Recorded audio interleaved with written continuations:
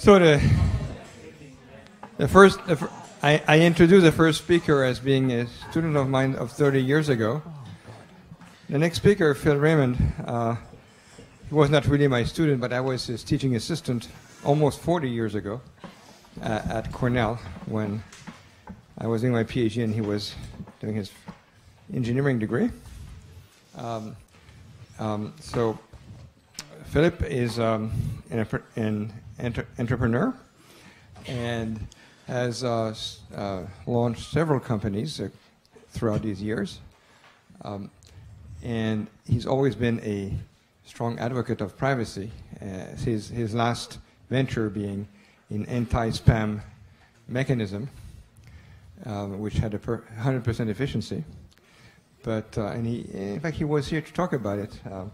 I, don't know About five- 10 years ago. about 10 years ago, he came here to give a talk about it at the, in this department. Anyways, so uh, without further ado, I'm very pleased to uh, welcome Phil to tell, tell us about his new ideas. Thank you, Gilles. Okay, so in, in Alessandro's presentation just before lunch, we, uh, he talked a little bit about um, the, the differences in how people perceive their privacy or lack of privacy and how they treat that in, in, in, in moving forward in a transaction as to whether they're willing to make a trade-off for tri- privacy. I'd like to do something very, very similar at the beginning here. I'd like to describe one or two events at which the public had a sudden shift in understanding about the lack of privacy in the marketplace. And to do that, let's roll back six, let's roll back 18 years. And uh, this is supposed to be a rollback, but I guess it's not. Uh, it, it, you're supposed to see the flips flips off until it goes back to. I hope all slides don't lose their animation because this isn't an important one. Anyway, um, 18 years ago wasn't the beginning of the migration of your loss of privacy, but it, there was an event, a very minor event. It made the papers, but it didn't make the front page, and most people forgot about it a few days later. And that minor event played out like this. So we're talking about the beginning of time. We're talking about 1996 before, according to my daughter, anything that happened in the last century is very, very ancient. And there was just you, and there was your American Express card. There was nothing else in the world. This was a very simple world. And you had a problem with your card or with your account or with a purchase you, you, that you saw. So you called American Express for help. I'm not exactly sure why in 1996 you used a phone from the 1930s, but you, you called. And someone, obviously someone in America or North America, answered the phone. We weren't doing as much outsourcing back then. And the shocking thing, the thing that changed America and Canada, is the very first words that came out of this representative's mouth. She said, Can I help you, Mr. Kaminsky? Um, obviously, that's his name. Obviously, he doesn't mind sharing that information because he's about to call with a question about his credit card. But it was a shocker that the woman knew his name.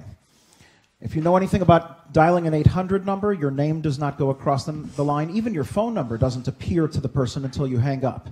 So it wasn't that he was dialing an 800 number, it was that caller ID was starting to spread across North America. So he called, and his phone number was transmitted to her. She has a database from her employer that ties that together. And American Express thought incorrectly why don't we just save a little time, since it costs time to answer people's questions? Why don't we save a little time and pull up Mr. Kaminsky's records in front of the representative? And if you want to take this to the extreme, she might say, Are you still living on Oak Terrace? The qualification questions. And is this about your card account with Susie ending in 00? Of course, this guy's wife's name isn't Susie, and he told her that he sold the cabin on Oak Terrace 15 years ago. So the, just the fact that she knew the information, I'm kidding, by the way, but the fact that she knew the information about who was calling was a shocker. Today, this doesn't phase us at all. I mean, Gilles calls me, and his picture shows up on my smartphone before I get the first ring. But it was unexpected and it was unsettling. And the protest was enormous. American Express lost 3% of people who made a call that month. They lost their customers, they canceled. No survey was done, no controlled study was done. But American Express, since 1957, when they were founded, never had a down month in subscribers, and suddenly 3% of their user base disappeared in just the last two weeks of the month. So people were obviously very unsettled by this, and they stopped doing it for the next 15 years. It wasn't until three years ago that they started recognizing your number again. Ask, and then the first question they ask is, I see you're calling from the home number associated with your account. May I search your records? May I bring up your records? So they're asking permission for something that probably is implicit, but they're doing it a lot more carefully now. So let's come up, let's move forward 16 years, 18 years. Let's move forward to 2014. And let's invent a company that has a lot more data about you. A company that knows so much more about you, they know more about you than your mother does, probably more about you than, than you do. Let's create a hypothetical company that runs a search engine and email business. Maybe they have a lab with self driving cars and glasses and scanning textbooks of the whole history of human writing. And of course, a company needs a logo, so let's just come up with a logo for the company. We'll call the company Gulag. It's a good name for a company. It's better than Google. Okay, so Gulag is, a, is, as I said, a hypothetical company, and they have 50 separate products. Uh, it's a big company, and their 50 separate products really cover the gamut of a connected society, an internet connected society. Um, many of the products that you've heard of from this company aren't even in the 50. They're in what they call their lab. It's not even counted as a product yet. Um, to give you an idea of how much this company can know about you, can get to know about you, and I don't, I don't see this as an evil company, by the way. They're, they're sort of the Antichrist to many people. But they're doing something with this data that they claim is helping you, even though you're not their customer. So, what are, what, how are they getting data about you? Well, there's the obvious ways, the ways everyone has already thought about. You use the search engine 40 times a day. Obviously, they know everything you're searching for. They don't need to tie it to an identity, but they have it tied to something much better than, than an IP address. Much, much better. They know who you are, and they're building a corpus. They know everything that every one of your friends says to you because they don't really care about whether you own a Gmail account. They're not turning typing into data about you when you send mail. They're doing the opposite. They're looking at the mail coming into you, so you don't even need a Gmail account. They're looking at the email coming into you from anyone who uses their products. Because it says a lot more about your idiosyncrasies, predilections, and fetishes when they can analyze what your friends are saying to you rather than what you're saying to your friends. A lot more information is given out by what people say to you than what you say to your friends. Now, with, with Gulag Drive, they have access to your working documents. Gulag Drive isn't a backup service, it is your Word documents and your PowerPoints and your Excels and your, your spreadsheets. And they have access to everywhere you travel if you use, um, I'll call it a Gulag Android phone. Everywhere you travel. And I don't know if many of you are familiar with the controversy in Debacle in America. I don't know if it's made its way to Canada, but there's a, a big, big bug in Apple's mapping system and because of that, many people who own Apple phones are running an Android product to do their, their navigation. And the Android product, um, I mean, I happen to be an Android user, is darn good. It can route you around traffic accidents and tree work and potholes and local fire department work, and it's always right. It wasn't six months ago, but it's getting remarkably good. So there's, there's things that I'm benefiting from by using their products. They even know what type of, what type of music I like. Google Play is the same as iTunes and and it's you know same type of product. And they know my finances and they know what times i set my alarms on my phone. The privacy policy says that they have access to that. Even what i wrote in the alarm on the calendar when i set the alarm for my phone. So the amount of data is quite staggering. And do people realize they're collecting this data? Well i suspect most people in this room realize they're collecting this data but do people understand the trade-off they're making do they understand if they're making a trade off that's to their advantage or not to their advantage?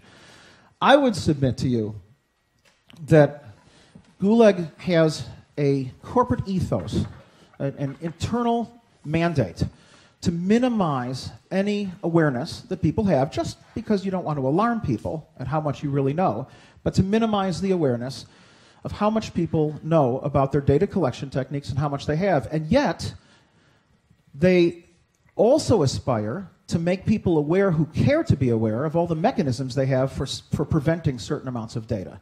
If you have a, a, a let's stop calling them Gulag. If you have a Google Plus account, there is a remarkable series of controls on the left side of the page. If you go into them, you can remove individual searches you've made over the years and months. You can tell them you no longer want them to collect certain pieces of data. It really doesn't change too much on how much they know about you, but it gives you the feeling of a tremendous amount of control. But if you really do use all the controls, and if you say, I don't want you to collect anything on me, in fact, you stop signing into any Gmail product, and you, you randomize what you're doing, you use Tor when you browse the internet so that your IP address comes in from somewhere else in the world, you actually can make yourself worthless to Gulag, and at some point, they will pr- stop offering you services. They'll stop enabling you to do searches as easily because you're withholding so much. It's not worth it to them that you're a customer anymore. They don't do that actively right now too much because few people go to all that trouble to remove that information. But when you think about it, why enter into an exchange with someone who's withholding the data from you? But the main thing that I suspect Google doesn't want you to think about is the fact that you are not their customer. If you're using any of these products, except for AdWords, which is in the middle here somewhere, that's how they, this is how they monetize everything. If you're using any one of their other products, then you're not their customer. Oh, oh, there's some corporate products which they charge for, of course. So you are, what are you if you're not their customer? Any guesses?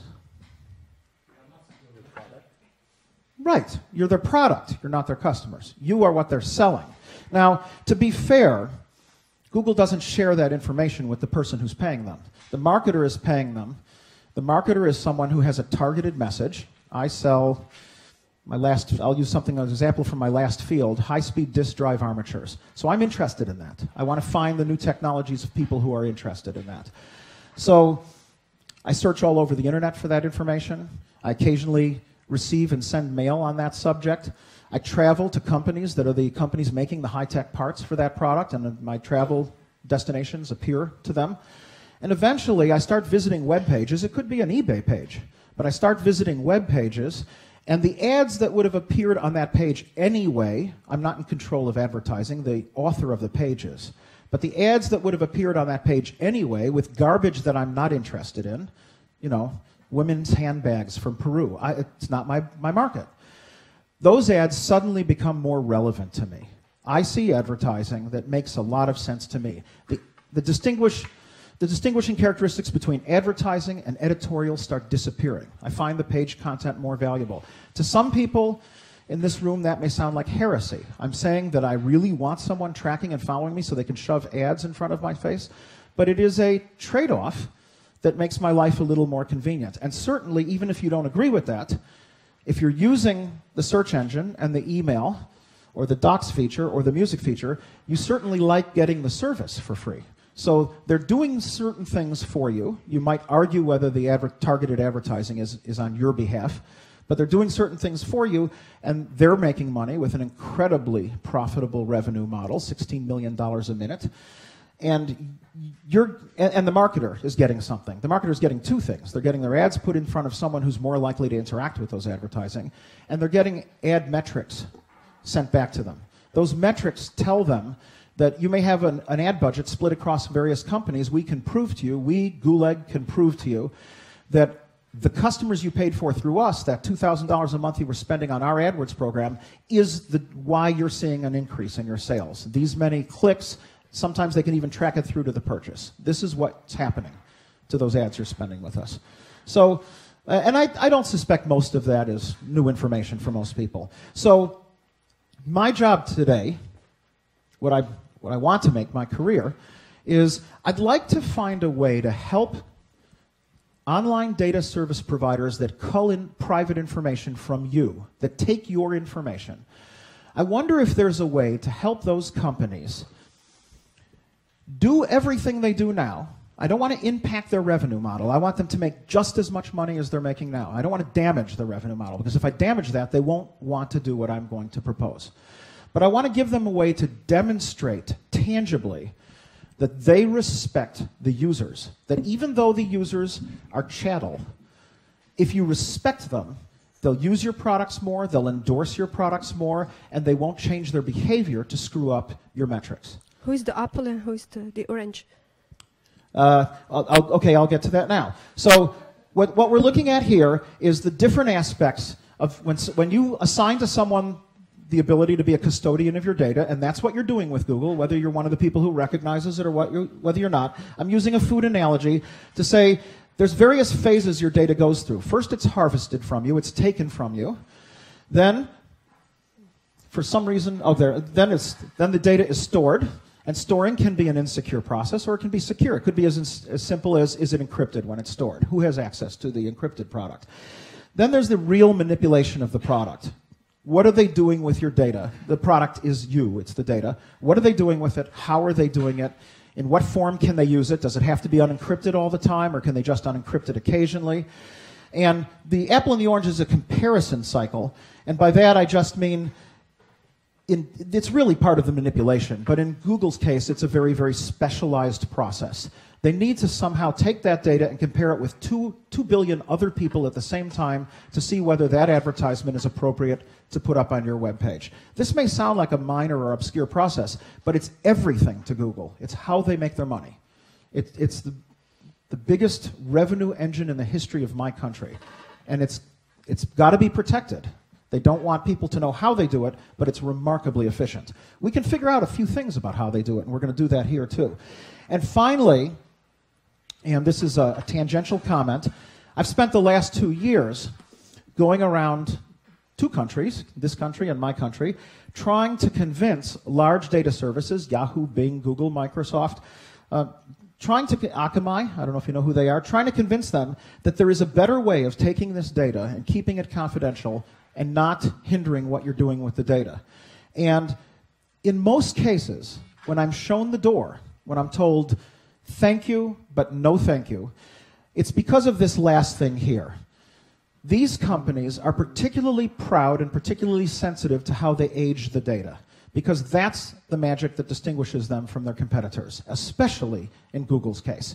They do a remarkably brilliant job of aging the data. So even though you did those searches a month ago and you drove to these spots a month ago and you wrote about these emails three months ago, somehow those time differences and the activities you did in between and how your mind is changing in another direction affect what they want to show you.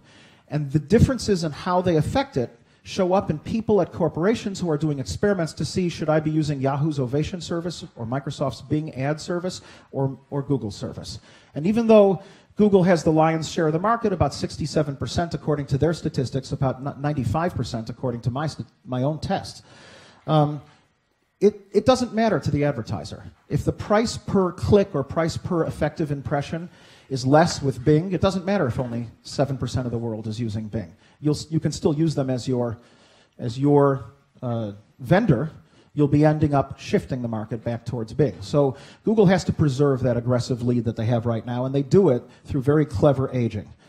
So the apple and the oranges comparison, and in this case, you're deciding which thing are you going to show up to the user when they do a search. Which of these two sites are you going to show up?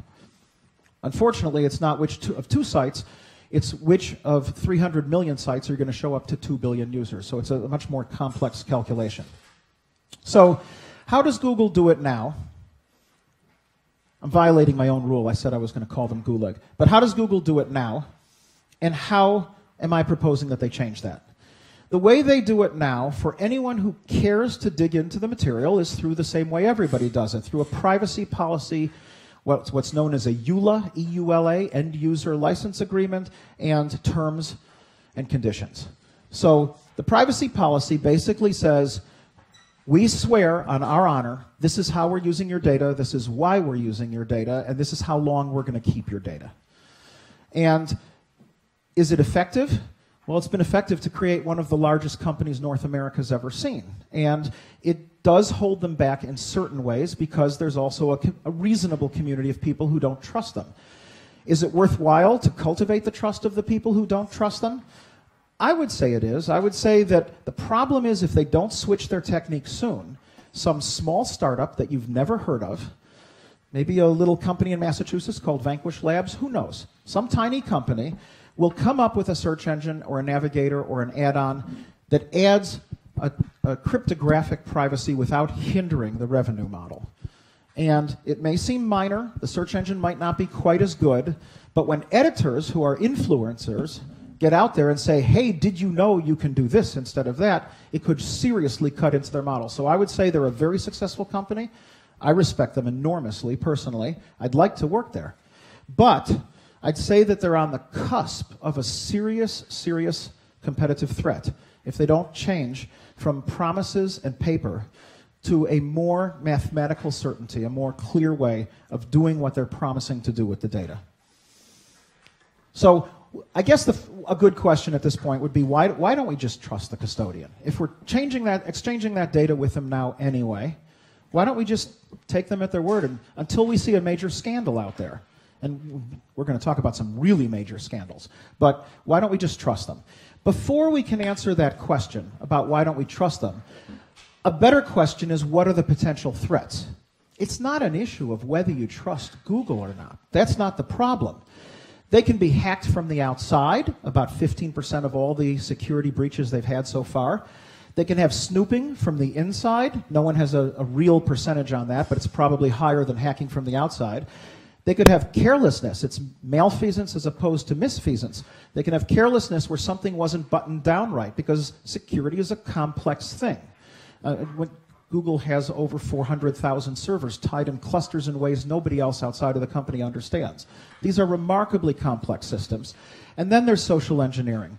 I ran an email services company 300,000 clients ori- originally, a little less than a million at the end. And that's a pretty small email service company when you compare to Yahoo and Google.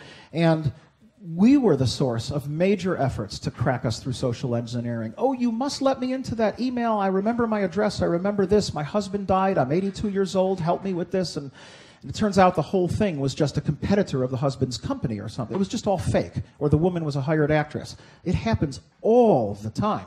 Now, in the email business, I should say there are ways around this problem. The EFF, the Electronic Freedom Foundation, has a set of guidelines, very, very elegant and clear guidelines. For example, if someone calls your customer support people and gives them a sob story and it's believable and it's an emergency and they must get into a password, it turns out there's nothing we can do to help them anyway. We've already proven to the EFF that we have no passwords on our entire system. So Bob calls me and says, I'm Bob, here's all my proof. Here's my DNA test, my urine test, here's everything. I'm Bob, give me my password. I can't help Bob because I don't have his password, I have a hash. So if he gives me the correct password, I can mathematically be certain that that, that was probably the right password. But without him giving me the password, I have nothing, so I have to go through the security process with him, and it's hopefully better than his mother's maiden name. At least it's his first dog's name or something a little bit better. Pardon? Could you tell me what is EFF? Electronic, Electronic Freedom? Freedom, Foundation. Foundation. And most companies that want to prove to their to their users that they respect privacy uh-huh. follow their guidelines and rules. Yes, sir. Yes, yes. Electronic what? Frontier. Oh, Frontier. I stand Foundation. corrected. thank you very thank much. You. Don't don't hesitate to ways, correct anyway. me on a mistake. Thank you. Um, and then, of course, there's inappropriate retention policy do you believe or do you, do you sign off on the fact that they really saved that thing you did in third grade when your pants were pulled down for that long? I mean, it has nothing to do with your life now. Why should it even be in there? And then there's, of, uh, of course, the whole Edward Snowden thing and the NSA. I assume even up here in Canada, you guys know who Edward, Snow- Edward Snowden is. Um, there, there were five previous events, one of them much bigger than the Snowden affair. I have no idea why the Snowden one turned into the press frenzy. But um, there's the issue that the, the government, in, and, and I assume that there's analogous things in Canada, can come in with different vehicles and mechanisms to compel someone who chooses to, to say, yes, I'm a patriot, I'm a citizen, I understand the law, can compel them to hand over information. In the United States, we have this problem and I don't know if you have it here. The National Security Letter is a, is a letter that's sent to you with a few credentials attached to it that say, we require this information, these searches, where did this person travel, all this information. We can't tell you why, we can't tell you what, there is no court that authorizes it, but it's a national emergency. And you are forbidden from telling that person that we're searching for anything on them, and you're forbidden from telling the press how many times we give you that letter.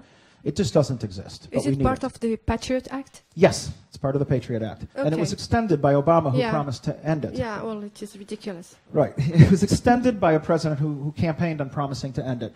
And, and it was supposed to be a big bad thing the Republicans did, and here now the Democrats have embraced it too. Uh, which, you know, I don't want to second guess it. Maybe when the Democrats came into office, maybe they were shown data. Look, this is why we needed something like this, and maybe that's why they're doing it. I ran a small email services company, again, less than a million customers, and we got them 16 times a week. We got national, and, and I'm violating US law by even saying that. If I said that in America, I could be arrested. We got 16 of these a week. We refused to comply with every one of them. We did a survey with our friends at Yahoo and CNET and, and uh, Bing, which is Microsoft, and uh, even at AOL. And it's interesting. A few of those companies also refused to comply. Earthlink wouldn't comply with any of them. Companies our size, tiny ones, rarely complied with them. Google complies with them because Google needs permission to do big things in big areas, allow self driving cars all across California. Seems to be pretty safe. There hasn't been one accident yet. There's already 75 of the cars. But you need permission from people to do things like that. You need to change laws. So Google needs to show that they're making an effort to comply with them. Google will not say how many of them they get, though. They're trying to be more transparent with their users, and they, they reveal these every single month how many of them they got, how many they complied with. Last year we had 1,800 subpoenas. This year we had 2,000 a month. So it's gone up greatly. But the court orders have gone down, and this is what we're doing. And we promise we're refusing 70% of them. We're actually having a person look at each one. About 5,000 requests a day. We're having a human look at each one. We're trying to make judgments on whether we should comply or whether we should fight it. But if they're ordered to, they eventually have to. If a judge is involved, they feel they have to comply. Excuse me. Yes. May I interrupt you? Yeah, what I heard, uh, even if you sue, I mean, big companies, of you, if you want to complain, they always tell you go to Delaware. I didn't know that. Yeah, it's a small, uh, you know, It's a small. state. Yeah, it's a state. It's small. Yeah, because uh, I heard because there they will win. I mean, they have like, uh, Oh. you know, like Google, Facebook, and all these big companies. I heard about one of my colleague who is like a lawyer. He told me they always do all their stuff like mediation, negotiation, whatever, in I, Delaware. I didn't know that. I thought the government would insist on Manassas, Virginia, No. which is where their spy apparatus No, is. because I think the the legacy there is, uh, you know, More biased freedom. maybe for Yes. them. Yeah, I think so. Yeah. So, um, it, it, a, a little footnote, not, not important to this uh, presentation. I never complied with it, and I never got in any trouble. And I found out years later, my company is now owned by Google, so I'm not dealing with it anymore. But I found out several years later that the reason I never got in trouble for not complying is because the government can't acknowledge that they gave you the national security letter. So if you don't comply with the national security letter, it makes them very, very hard for them to admit that they gave it to you. And also, if it went to a court, the name of who they're looking for would clearly be public information at that point. So it's so super secret that you can ignore it. that's, that's how, it, how it works in the long run. Okay, so let's get back to the original question. Why not trust the custodian?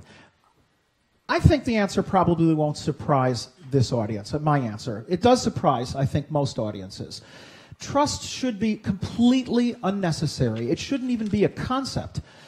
Because if you are telling your data custodian that you need to trust them, then you're creating a liability for them. They are sometimes compelled to work for other people, so you're, you're forcing them to be an investigator, a censor, or a snitch every single time that when they decide if they have to give out something about you, and if they do have to give out something about you in their opinion, or if they refuse to, if they protect your interests, you're making them a non patriot. You're making them refuse to comply with their own laws, with the laws that are, are in ju- their jurisdiction.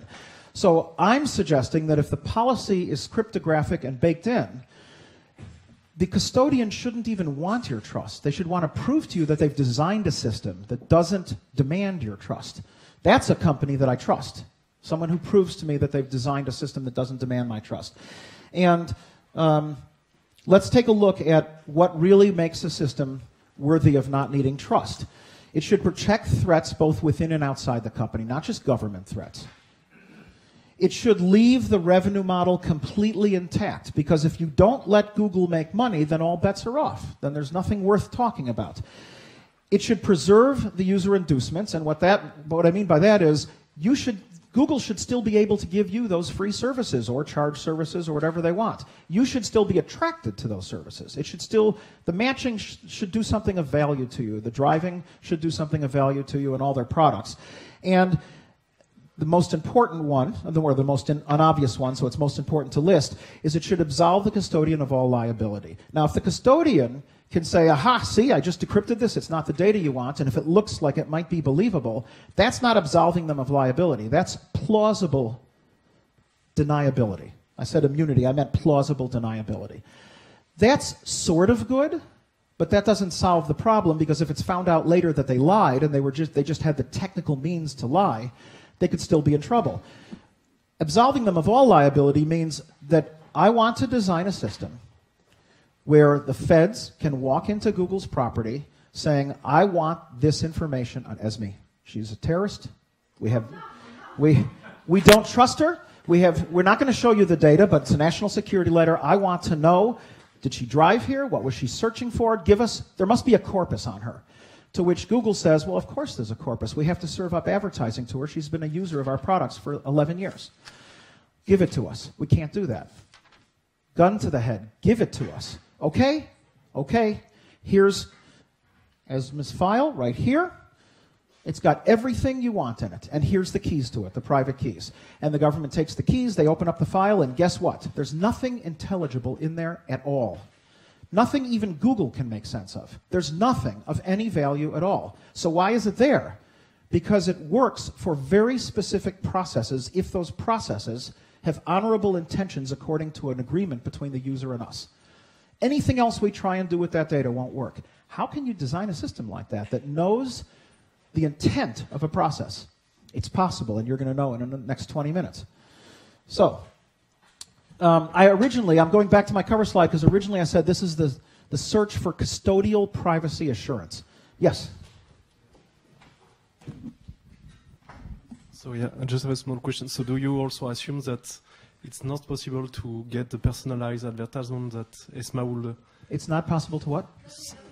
So there was some people that show that from the personalized uh, advertisement that you receive, it's possible to uh, recreate part of the profile that has been used. So do you also imagine a system where you can show as a company that you don't have uh, the profile of ESMA, but also it's not possible for you to run and to generate advertisements that would correspond to this profile? I'm not sure I understand the question. So you, the profile is used to compute some personalized uh, advertisements. It's used to help decide what will be targeted back towards you. Yeah. Yes. And so my uh, question was, is it also your system will be such that it's not possible to also know the advertisements that were sent to ESMA? Because sometimes just from the output of the process, which is the advertisement, you could reconstruct the profile itself. Right. So you can fingerprint someone based on behavior. I don't see how that. Right now, I'm, when, when they, oh, I, I, I see your question now. I see your question now. Yes, uh, that will also be that so will also be completely scrambled and useless. Okay. So uh, my question is because uh, some people show that from uh, the personalized search results that you get from Google, it's possible to reconstruct a part of your history of navigation. We're going to so talk about that in three, three or four slides. We're going to talk exactly about that. So I think I think the first question, though, Sebastian, I think the first question was it, it is it, is it also protecting and giving immunity to data on what on, on behavioral stuff that might have come in through the through thir- through through the algorithm? And the answer is yes, it does protect it. And we're going to get into your second part in a second. So what I'm what I'm going to change the name instead of calling this the search for custodial privacy, I'm going to be more specific. We're looking specific. We're looking for a privacy methodology that supports blind back channels while removing any need to trust the custodian. The back channels are, are really key here because this is why I was kicked out of Google after being invited to explain to them why this might be helpful. I didn't understand how important this was to them, so I didn't articulate why the back channels are preserved. That's why I believe I was kicked out. So, the primary channel of information, and I'm not sure if I'm using the proper tr- terms of the art for uh, cryptographers or mathematicians, the primary channel of communication is that the user signals the world. I'm interested in disk drive armature. I'm interested in bottles of Viagra or whatever they think you're interested in in all these ads. You're signaling the world with what you do, what, you, what, you, what your interests are, what your hobbies are, what you like to do. Back channel number one is some information comes back to you from a third party. And by the way, Google doesn't tell the third party who you are, they just send it themselves. But it's highly targeted. It's better information than you would have seen, more relevant to your needs than would have happened otherwise. And that's everything the customer's paying for. And then back channel number two is Google won't make nearly as much money if they can't give metrics back to the advertiser to prove to them that a large percentage of the people they showed those ads to did something meaningful with it. Otherwise, they might as just blast the ads through spam because it wouldn't be meaningful to them. So the key is preserving those back channels. That was the it was it was the last thing on one of those other slides that I did. So we're going to look at five technologies, and we're going to a couple of them we'll run through and dismiss pretty quickly. I came up with a list of two things other people have done and three things that I'm giving names to and proposing to solve the problem. And again, the problem, restated, is we want to give Google a tool to let them prove that they're good guys to their users, even though their users are not their customers. Because without their users, they won't find customers. We want to give Google tools to prove that they respect their users. That's simply stated what we're trying to do. So, um, the first, uh, and, and, and we're going to see if these techniques work by testing them against these conditions. And it's the same conditions that I showed you two slides ago. Does it protect threats inside and outside the system? For, does it protect your data from both people at Google and from the government and from carelessness and from hackers? Does it leave the revenue model completely intact? Does it preserve the user features and benefits? That's what I'm calling the inducements. And does it completely absolve Google of liability if they refuse to cooperate in any future investigation? I mean, I could think of a really, really obtuse net effect of this. I guess the government could come into Google saying, if that's how your system works, if your data is that well protected and designed, then we order you to design a less secure environment. I guess they could I mean, in theory, they could, they could complain and give them some liability by forcing them to design a weaker system. But that would certainly make the government the bad guy. That's exactly the Clipper chip, the uh, key escrow accounts, the embargo against uh, Phil Zimmermann, the guy who created PGP. So the government does have a history of trying to force companies to, to design weak systems. Very good point. I hadn't thought about that. Yes, I forgot about that. Okay, so um, I am not a mathematician, even though I, I have friends who are mathematicians and I am not a uh, cryptographer. I, I, I was at, at one point an engineer, and I do have degrees in engineering, but um, I'm not great at math. You won't see a lot of this here, and you certainly, you certainly won't see that here because it has nothing to do with this presentation. Okay, so we've got these four candidate methodologies, five candidate methodologies. The first one, is anyone here in cryptography other than Gilles and anyone? So oh, we really do have, wow, okay, we got five, six, seven cryptography people. That's very good. Um, yes.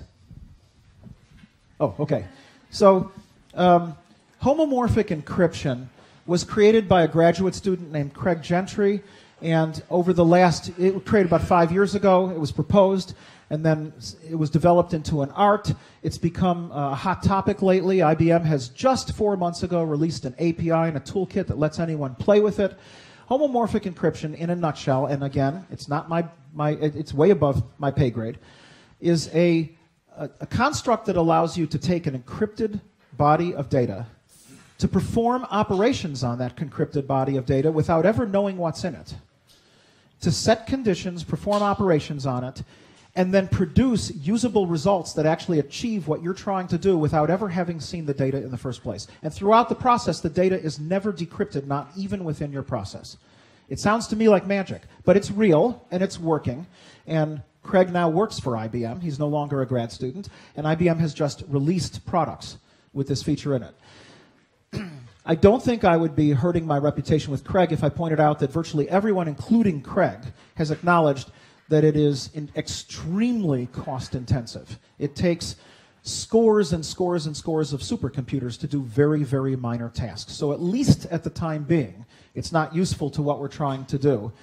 And homomorphic encryption also fails our tests because the people who collected it do have keys. They did encrypt it somehow, and there's no way for them to prove that they can't decrypt it. So it gives them the ability to work on the data and stop carelessness, maybe, from seeing the data, but it doesn't give them the ability to prove that they can't decrypt the data. You, everyone see the subtle difference there?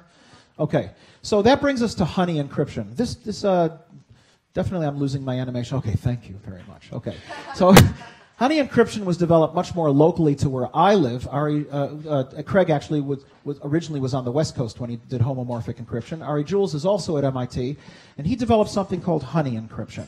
Honey encryption has a fascinating backstory, and it just hit the press one month ago in the IEEE Spectrum magazine. That's the Institute of Electrical and Electronics Engineers. So the next four slides are, are yellow because Ari gave me the slides. So this is not my work, this is Ari's work. So in 1943, there was a German agent. This is, this is two years before the end of World War II. There was a German sleeper agent living in a Spanish fishing village. Spain, like Switzerland, was neutral, or so they said during this part of the war. They were not taking sides with the Allies.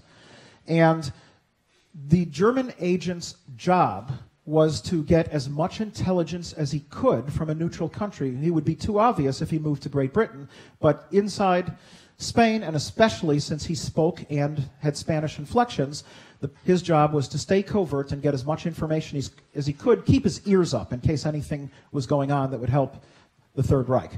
And while he was living in this village, uh, about a month before this picture was taken, a small boat of the Royal Navy was seen to have an accident offshore, only about two miles, but visible to, to, fishermen and to various people. And the boat sank, and none of the people on the boat were recovered. It was a small boat. There were assumed to be eight British officers on the boat, but it sank, and everyone was assumed dead. It was it made a local splash in the Spanish press. And then, a month later or so, a body washes on shore, consistent with a month of decomposition. There was fluid in the lungs, salt water in the lungs, and the body is wearing a Royal Navy uniform. And a pretty high ranking one, too. I mean, right up there at, at the Queen's level. And a satchel was found less than a kilometer from the body, also floating in the water and starting to move towards the shore. And because of the way the satchel, satchel had been folded several times, the letters inside and the documents were reasonably preserved and could be, with a little bit of forensic analysis, could all be read. And most of it was letters from his fiancee. There was an engagement ring uh, receipt. There were letters back and forth to his father, who was living in the States at the time. And it was a very interesting set of. This is jumping past. Okay, so the body was a British Royal Marine captain. Spain was neutral. I already said all this stuff. And he was hand carrying letters the Germans knew that the Allies were planning a major, major attack. This was coming closer to the major battles in the war liberation of France, liberation of Italy, liberation of, of uh, and finally the invasion of Germany.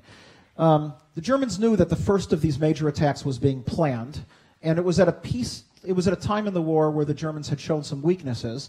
And the letter that he had in his bag, actually, this doesn't do it justice. The letter said, Dad, please stop begging me for information about my risk and what I'm doing and where I'm going. I shouldn't be telling you this, but we are about to do a major invasion of Greece. And please stop. I'm an officer. I'm not allowed to be discussing this matter with you. He described the invasion of Greece. It looked like he had torn up pieces of it and decided it was too risky to mail the letter. A lot of stuff was going on here in his thinking. Who knows what he was thinking? He died on this little boat.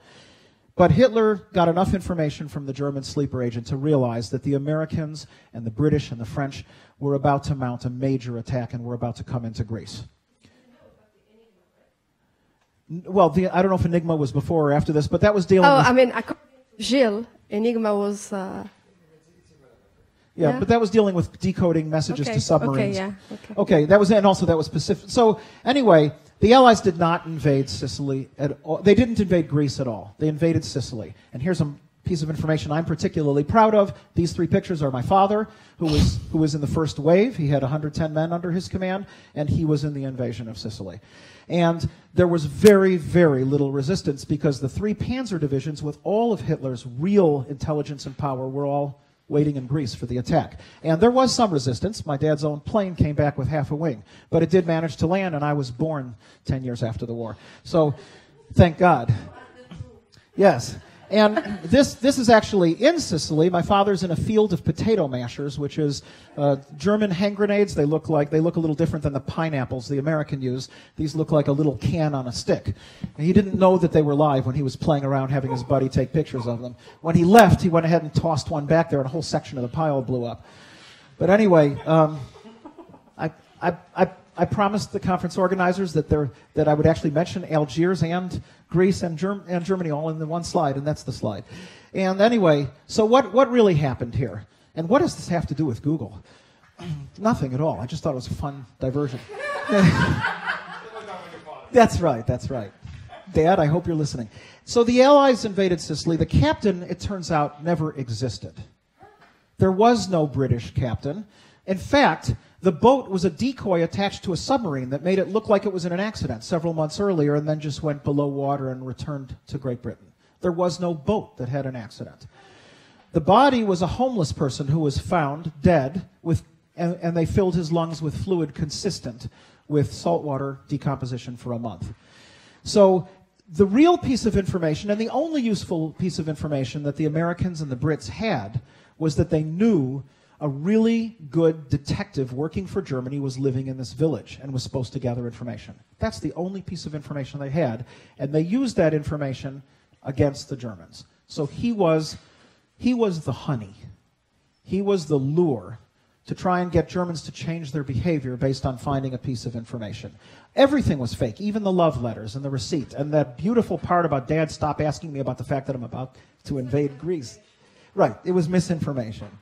I call it digital chaff. Now, interestingly enough, it must have been a very low budget movie with bad actors because it didn't make very much of, of, waves. Even my own family has never heard of the movie, but it's on IMDb, and a movie was made about this, The Man Who Never Was. And um, the operation in Wikipedia and in the history books today is well known. It's called Operation Mincemeat. But, and it is widely, I mean, not just by my dad, it's widely credited with saving 40,000 lives. I mean, it would have been another major beach disaster if we had if we had not had this decoy. And um, and someday I'll I'll see the movie and see how how much it relates to Google. Okay, so I'm going to rule out honey encryption. What honey encryption does is exactly what the Americans and Brits were trying to do. It takes a body of data and allows someone who is being caught at the border with a laptop and uh, the gun to the head metaphor I see that you have a large set of random numbers in this huge file that you've named mysecretdata.txt. I w- well, you're hiding it in plain sight, right? I want you to go ahead and give me the key, or I will take your laptop, and I will also take you to court. And so you give them the key under duress, and what they find out is it's your tax returns, or it's your pornography, or who knows what it is. But they, what they don't know is that your state secrets require a different key. The things you're really transporting across the border to your agents requires a different key. I should say this. This is this idea of a decoy is not new. I love using TrueCrypt, which is a pro- open source product anyone can use, and it supports nested encrypted containers. So you have an outer container. Everything, uh, when, when you encrypt a volume in TrueCrypt, you tell it what your largest size is going to be, and everything's random in that. Your whole disk can be random. Everything has random numbers in it. And then you give someone the key, they see your tax returns, Little do they know that within that container is another container. You, it, to them, it looks like the buffer at the end of your file. I haven't filled my file yet, that's why there's more numbers out there. But actually, the other half of the file contains your internal encrypted data. So having deceptive data isn't, or a deceptive key, isn't new. What Ari did, which is, I think, truly fascinating, even though I'm not a mathematician, it amazes me, is he came up with an ability to stick in multiple streams of what looked like useful information. And it exceeds the entropy of the file length. At least it apparently exceeds the entropy of the file length. So if you have a file that compressed should yield 10 pages of text, after accounting for what you know compression can do to text, it should yield 10 pages. He can give you a file where you have three different keys, and you have 10 pages that have a Shakespeare sonnet and 10 pages with Winnie the Pooh and 10 pages of your secrets.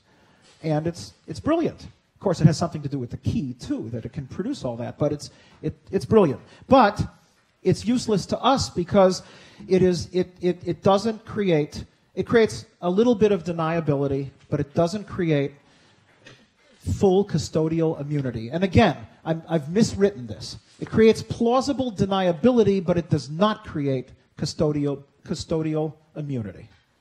I want to say that again. It creates plausible deniability. I really don't have it. Here's my key. But it does, that's not a truthful statement. We got to let Google tell the truth when they're forced to comply.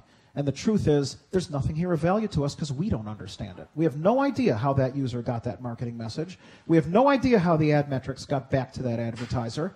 And that's the truth. And yet we're aging the data, and something magic is happening to the data. And the data can only do what we promise the customer it can do. It can't be used for any other purpose, even if we peek inside of it with our private keys. That's the goal here. So, um, I spent embarrassingly two years of following a path, uh, I'll call it chasing a rabbit down a rabbit hole, that I call adding encrypted back channels. That's what, what I thought would be the best way to solve the problem. And it's, it's still illustrative. And again, I don't know if this is skipping. No, it's good. So before I tried to figure out if there's a solution to this, I tried to figure out how does Google do its data matching services in the first place? How do they do the magic they do? Now, obviously, it's going to be a trade secret. They're not going to willingly share. Only this month they're starting to share with me how they do it because they're starting to get interested in the work. But the, the truth is, they're not going to share their jewels because their jewels are what keep them competitively advantaged.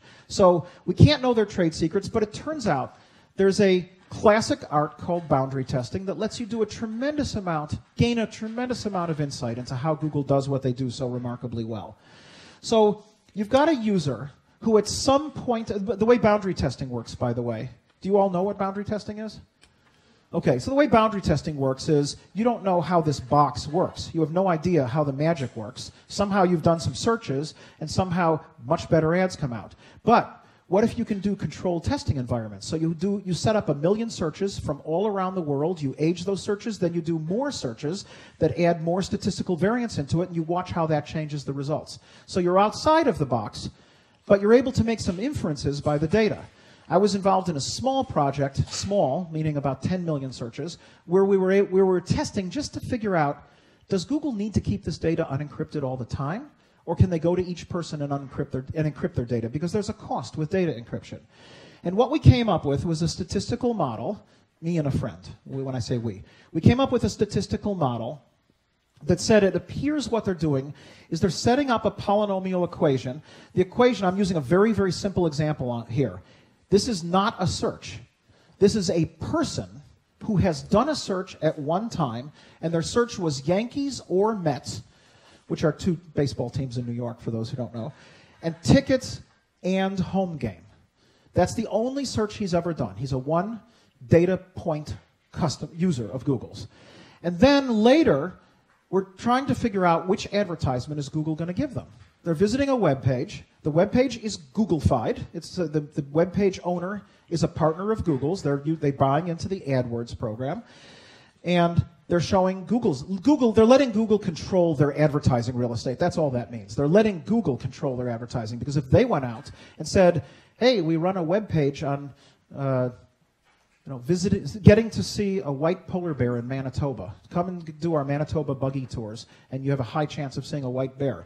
Now, I have a friend who runs an educational website on polar bears, and they actually sell ads from that page to companies. But if you're in a typical business, it's much better, better to just let Google run your ads. They're going to bring you the exact person who should, who should they're going to bring your viewers' eyes to the exact ad they should see and give you part of the money for that. That's how AdWords works. Google brings the right person's eyes, they bring the right ad to your page. They don't attract people to your page. Google doesn't attract people to your page.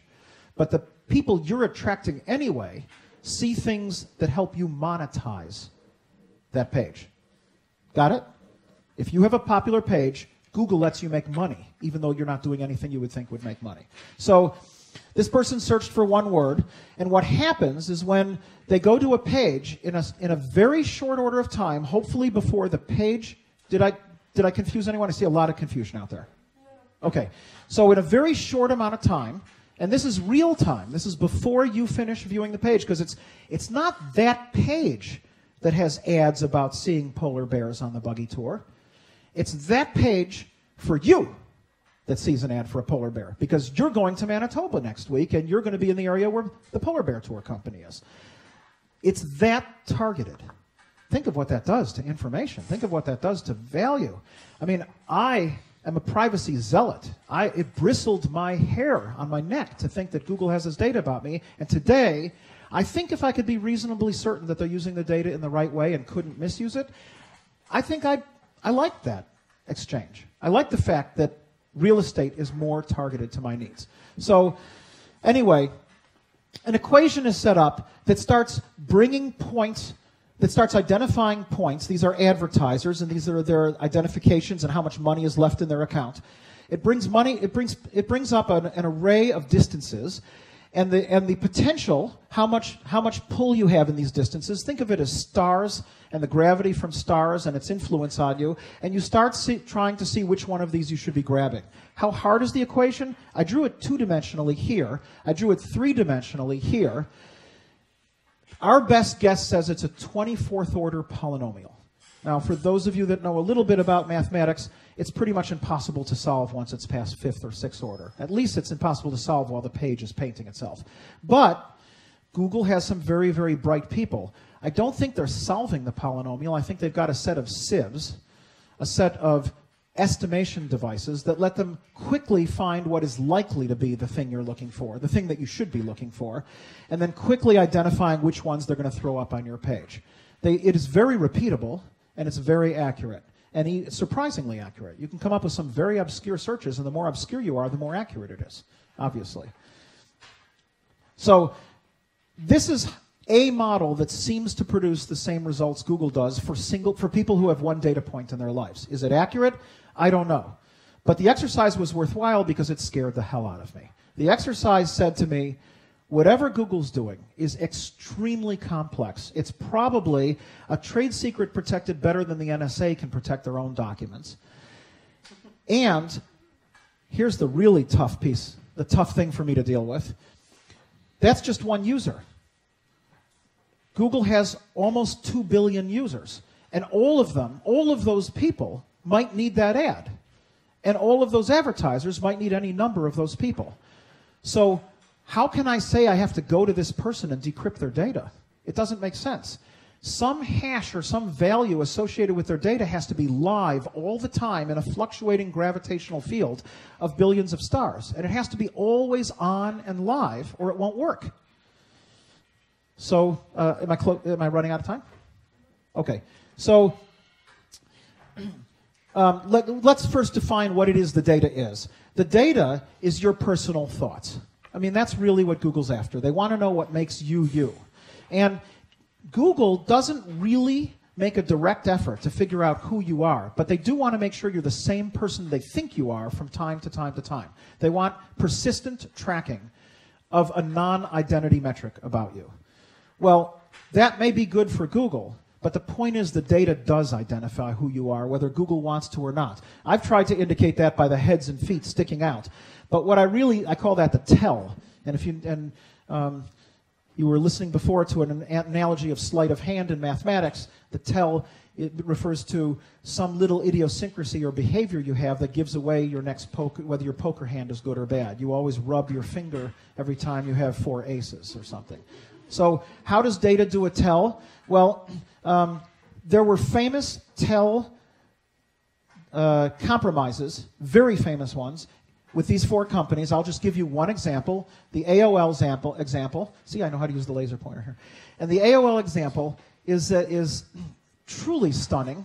I don't know how many people remember that AOL was, uh, was the. Um, right but not intentionally. They were trying to be good guys. AOL was the, uh, the Verizon or the Comcast of its day. They, everyone in America got onto the internet through AOL shortly after the demise of CompuServe and, and Genie and Delphi and Prodigy, but just before the new big companies. And AOL was beseeched by a university. It was part in Tennessee, part in Champaign, Urbana. And they were begged, we need to do a major statistical study. We need a massive database. We want to work with your database of all searches that have ever been done. And AOL said no for almost a year. Privacy. No, we're not going to do it. And finally, some senior professor convinced AOL don't you have the ability to strip out all identifying information? And AOL said, okay. And they, they wanted 2 million or 3 million searches. AOL said, actually, we found a clever way to quickly remove all identifying information. We're going to replace every identity with a random number. So, yes, we'll give it to you. And by the way, 2 million records, forget it. We'll give you the beginning of history to time all the way till now. You'll have 12 billion records. So, go ahead. You can have the information. That data file is less than a quarter of a terabyte. Now, today, you can buy a one terabyte drive for 50 bucks. That's it, 50 bucks. So this is $12 drive can hold this file. I have the file. And many people have the file. Many people have played with it. And it's true. There's nothing in there that says that this is Gilles Brassard on these searches. Oh, but it's so easy to figure out. In fact, one company made it easy for a script kiddie company, made it easy for anyone to find out who it is. Let's say that your father is 89 years old. And let's say he owned a company in Chicago for 30 years called Silver Beauty Corporation. And let's say he flew in the invasion of Sicily. And let's say that his wife had ovarian cancer. So he searched for these things in a fairly short period of time. I wonder if I'm on the internet. What about my old buddies at Silver Beauty Corporation? And can I find anything about doctors in Laguna Beach area on ovarian cancer? It's not that hard to figure out that it's my dad doing these searches. And what's that about searching for Gina Lollobrigida in the bikini? And uh, all that other stuff just starts rising out of it once you know who does the search. So a lot of information can be given out even though you never intended to. Yes? Oh, okay. Okay, so, um, and I think I am down to the last five minutes, but here comes the critical part. So I started working on how can I create an enclosed environment where all this stuff can happen. I have on one side of the room uh, this is think of this as a junior high school dance. On one side of the room, the the users are coming in saying, This is what I'm interested in. Here's my interests. This is what I look for in a boy. Is it sexist? I don't think I'm saying anything sexist here, but if I am, I'll use another analogy. I'm using you guys as my test group. This is what I'm looking for. You better meet these conditions or I'm just not interested. And on the other side of the room, you have walking in all these marketers who say, I offer these advantages. I offer these products. I'm doing this. And in this room, people can mix. And the different doors are the different IP addresses, or better yet, the different statistical fingerprint that identifies you as a unique person, persistency from time to time. And the room fills up, and everyone dances and mixes and pairs off, and eventually, I'm looking for someone who knows 72,000 RPM disk drive armatures, and this company is inventing a brand new one, and I, I did that backwards. I'm, I'm the girl. And so eventually, a, a, a marketer a marketer pairs off with a user and they say, This match is made in heaven. I need your data. I actually like your data. I'll click on it. I might even buy it. And these two people are very happy. And I started coming up with a construct because, because the mathematics of hashing says that if, if I can support if I can support authentication in one direction and confirmation in another direction, if I can send information in one direction and at least get a confirmation in, the, in another direction, I should be able to build a statistical model that lets me add the back channel information back in. That's what I was pursuing for two years. I should be able to build a model that allows me to get the data to the marketer outside of the room and still come back into the room later. So I was trying to find a way to keep this data private and I started developing this system. There's a door check person at every door. He hands you a random number the moment you walk in. When you leave the room together to present the advertisement, your two numbers go through a one way hash. Now you have a number that's meaningless to anyone else, and you can do your magic. You come back into the room, you meet up with the first door check person, you get something that lets you recover your original identity. I'm sitting here trying to think is a mathematician going to even understand my crazy idea? Is my idea even valid? And I finally gave up.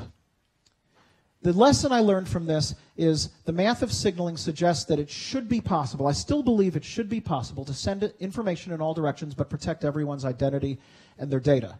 The lesson is that in a hot environment, that environment with a 24th order polynomial, it's a daunting task. And so I figured if it's going to be that complex, my solution, it's not going to be secure. Because you create a solution that complex, you're not secure. So what I, what I concluded is that we need a much bigger trusted environment. We need something in which the private data is completely meaningless all the time unless the purpose of looking into the data, unless the purpose is authorized. So I've ruled out all that work I did for all that time, and I'm going to put the last two together quickly. So there's, a, there's an art that was developed in 2002 and 2003 called trusted computing. And trusted computing doesn't directly address our problem, but it turns out it's the missing link. It's the key that allows us to solve our problem. The Trusted Computing Group, lots of information on the internet under that name, created a methodology. It's an ISO organization, a certifiable organization. They created a methodology called TPM. TPM, I, I, tried to avoid acronyms in the presentation, so you won't see it here.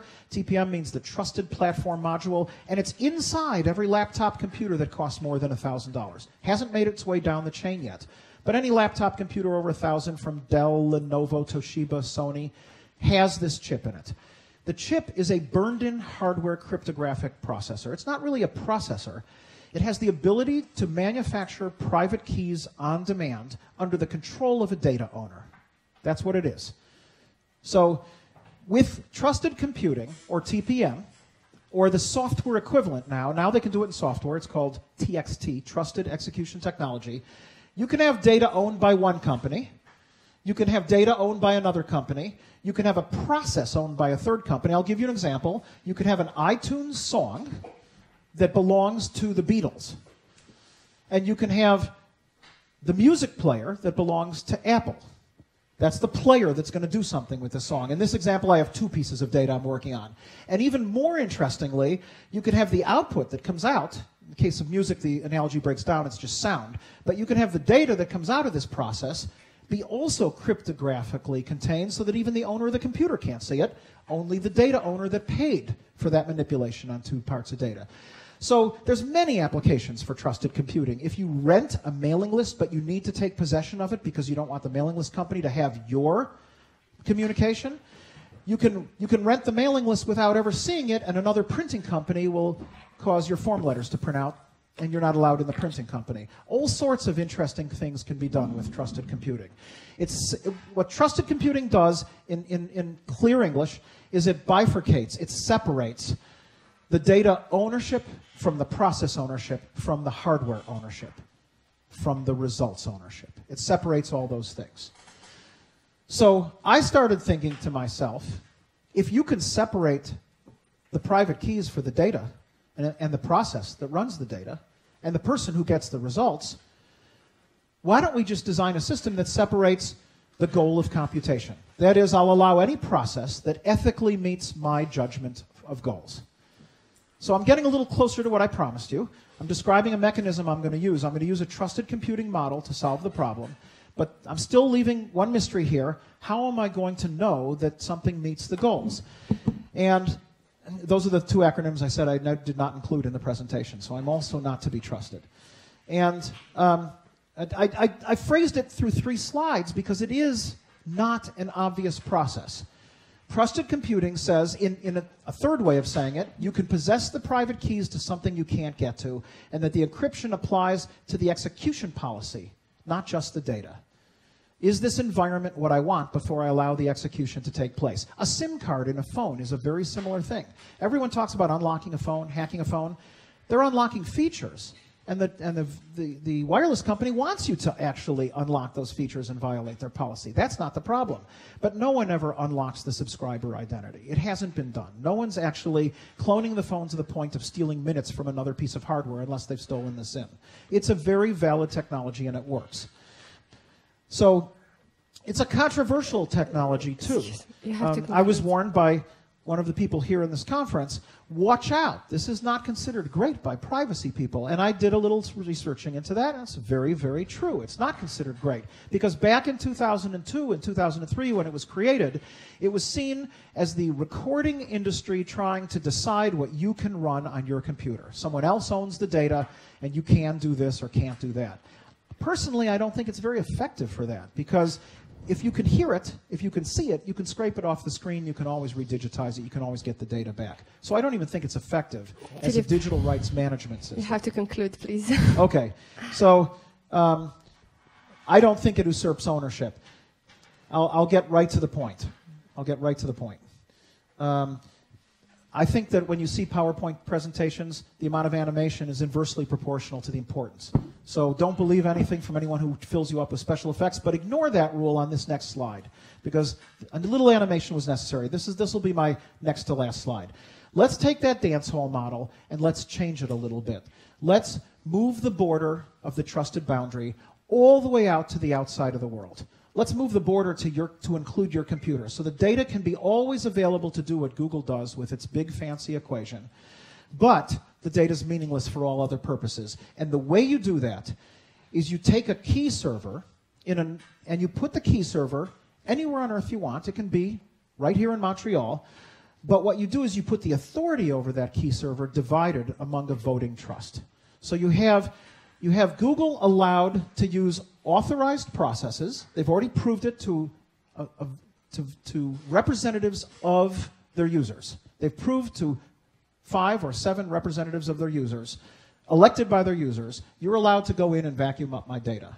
But before Google can change the process or add a new process, which they do about 12 times a month, before they can go in and change the process or add a new process, they have to go to a voting key server. A voting key server says, before I authorize that new process to run, in other words, to see any of this, this data, I have to have at least five of seven people in different countries Germany, Australia, Brazil, Canada at least five of seven people who represent your users must look at the code. They must, there is a human involved. They must look at the code and they must decide is this process meeting what you promised your clients? So that's the key slide of how I'm using trusted computing. By using a voting key server for the process server, I've changed the trusted computing model to no longer checking who owns the data or who owns the process, but who owns the purpose that the data was being written for. I'm going to end a little early, but does Thank anyone have, have a, does that make sense? Does anyone not understand the main Thank point? you very much, Remo. Okay.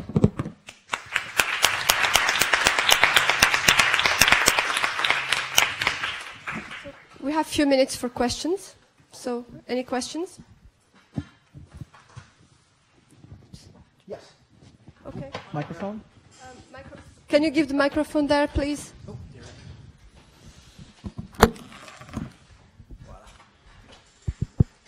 Um, my question is, um, I, I, don't know if you're aware of Lavabit that was that did a, a, service similar to what you did with encrypted email, and they got um, th- they didn't have this plausible deniability, and they had their their private keys, um, and they got shut down because of this idea that uh, they would not hand over the data.